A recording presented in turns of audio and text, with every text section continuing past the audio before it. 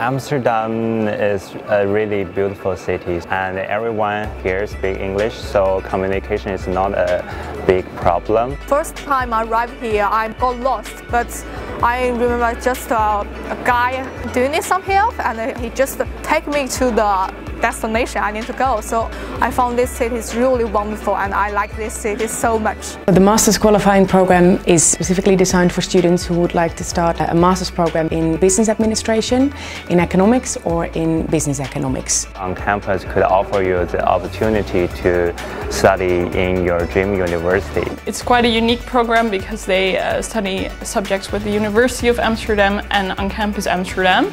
At the University of Amsterdam they follow courses uh, for the second and third year of the bachelor uh, and OnCampus Amsterdam helps them with English and uh, they follow a research project. It really focuses on uh, improving these uh, specific academic skills that you need to have to start a master's program. This experience has been something that's uh, actually beyond my imagination. It has uh, helped me test everything out to explore my prospects to see what I'm good at and it's given me a much clearer idea about which direction I want to go into.